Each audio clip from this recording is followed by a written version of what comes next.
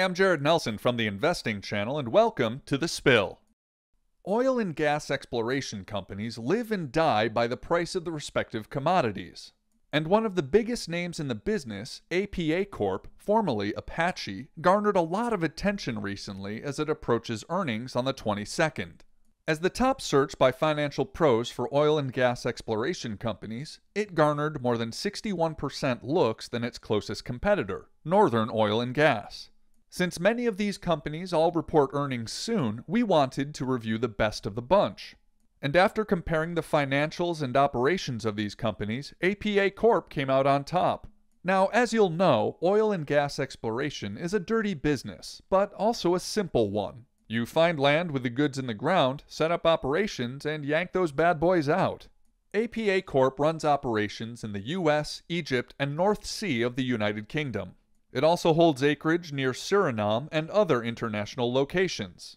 And like many oil and gas exploration and production companies, APA got slaughtered when the US fracking market ushered in a domestic energy renaissance.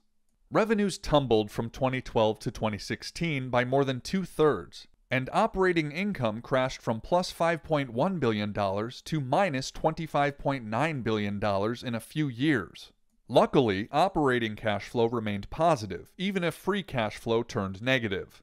APA was forced to raise cash and right size operations, and between 2013 and 2017, the firm sold off assets and interests around the world. And while 2020 was a difficult year, 2021 has proved much more profitable. Gross profit for the first three quarters of 2021 totaled $3.613 billion, compared to 2.727 for all of 2020 and 3.42 over the same period in 2019. The company has long-term debt of $7.159 billion on the balance sheet, a significant drop from the $8.7 billion from the year prior and $8.1 billion from 2019. This gives APA more room to expand operations or acquisitions as needed. Looking at valuations, APA isn't the cheapest company in its sector, but it comes pretty darn close and has a better price to sales ratio than a lot of its peers. In our opinion, this is a 7 out of 10 stock. APA Corp is the best run E&P company in the space, with a heavy focus on US production.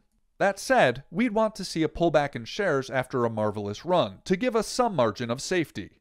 Ideally, we'd be interested in the stock below $25 per share. Click and subscribe to the Spill newsletter to get the full breakdown.